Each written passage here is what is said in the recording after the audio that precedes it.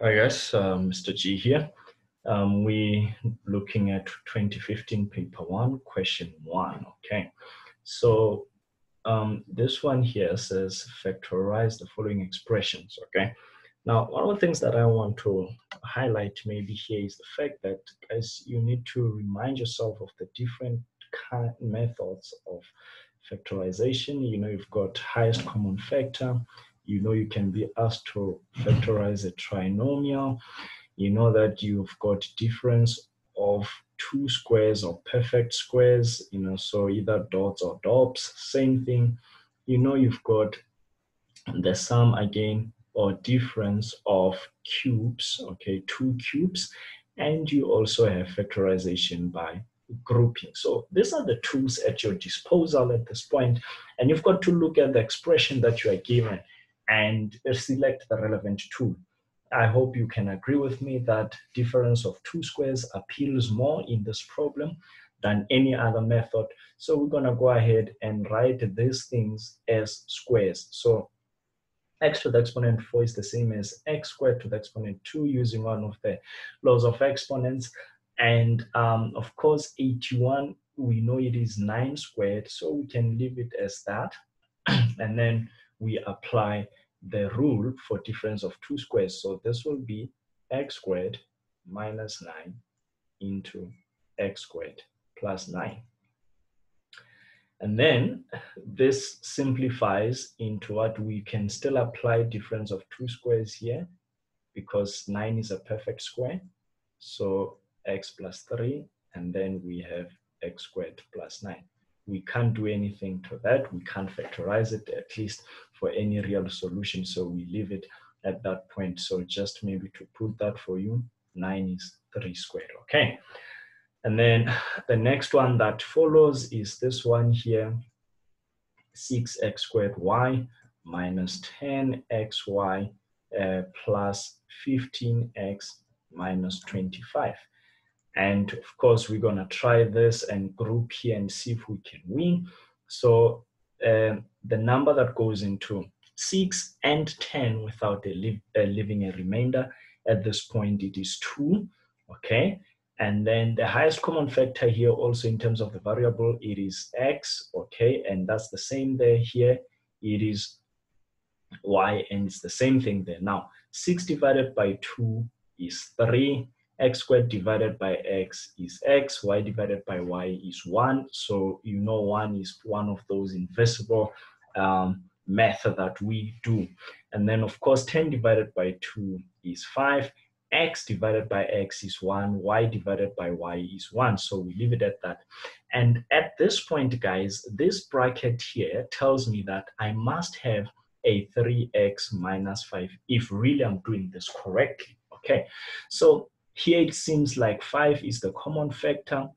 Or I can just say what is 15x divided by 3x, that is 5. And what is 25 divided by 5, it is 5. And then I simply, I, I now take out the highest common factor, which in this, uh, this case, 3x minus 5. And here I'll be left with 2xy plus 5. And that's it, you've got your full marks, okay? So that is um, straightforward. I know you don't really struggle with um, uh, grouping. Okay, let's come to this one here. Uh, 3 over a minus 4 plus 2 algebraic fractions, right?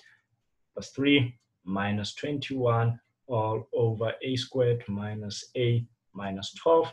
And of course, everything seems to be fine in the first two terms, so I'll leave them as they are.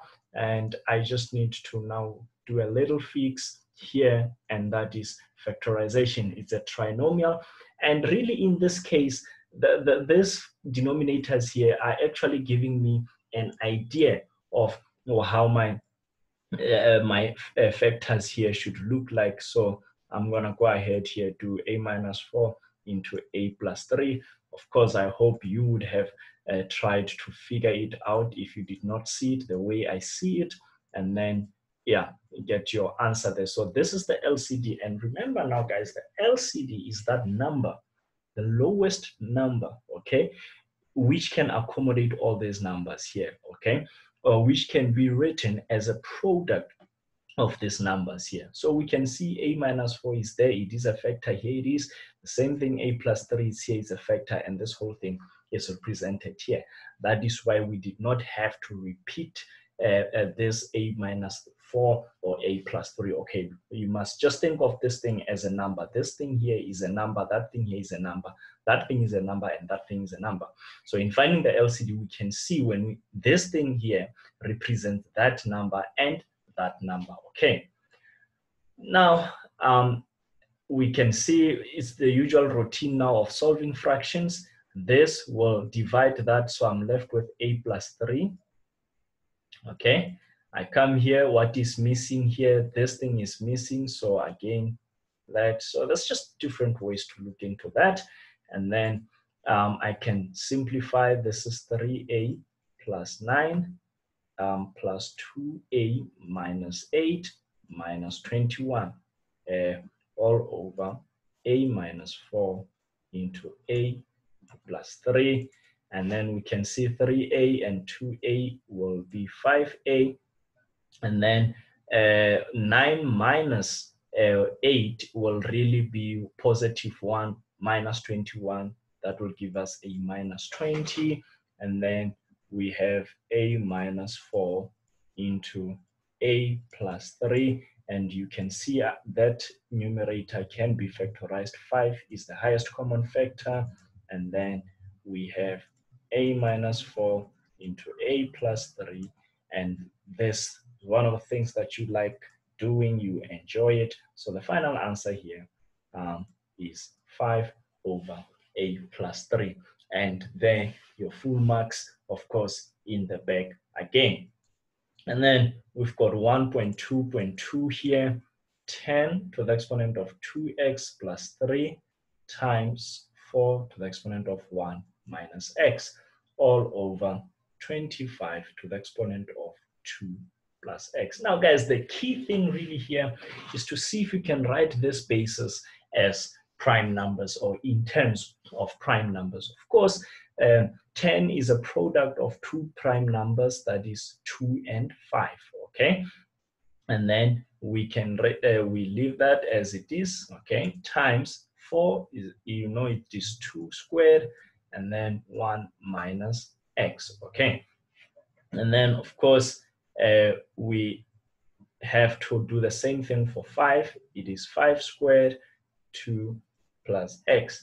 Now you know one of these laws of exponents. If I have a and b raised to the power n, then this means a to the power n or exponent n and b to the exponent n, all right? So that's actually what I'm going to apply for each and every uh, uh, power here, okay? So let's see, 2 to the exponent of 2x plus 3 5 to the exponent of 2x plus 3, and then 2 to the exponent of 2 minus 2x. You got to be very careful there.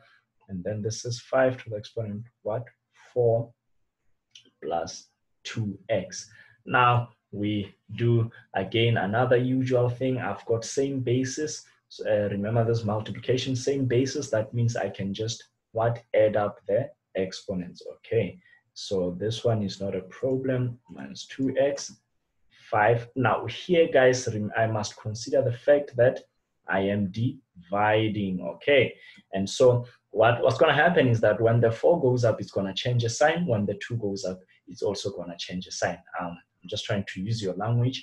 That's how you guys understand it, I am sure. And then this, so this has to be minus 4, and that has to be minus 2x, okay?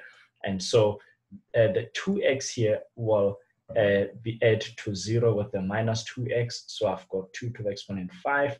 And then here again, this 2x and that give me a 0. And then 3 minus 4 is just minus 1. So I have uh, here 2 to the exponent 5 over 5. And this is 32 over 5. Um, of course, we don't like writing in proper fact, uh, fractions, okay? So you just got to think about it. 5 will go um, 6 times there, and then you are left with 2 over 5. Um, I think it would not be a big deal if you left it at that, okay? And then finally, the last question, guys, consider the following numbers, square root 27, cube root of minus 27, and square root of minus 27. Which one of these is irrational? So remember, irrational numbers are those numbers which we cannot represent as a fraction, okay? They've got decimals, but we cannot really represent them as fractions, things like square root 2, square root 3, square root 5, etc. So if you look at 27 here, 27, square root 27, essentially 9 times 3, right? And this simplifies then to 3 square root 3. And so that is irrational, that is irrational because 3 is irrational. So this number here is definitely irrational, non-real. Well, you may say, no, isn't it two of the, isn't this, is it both rather?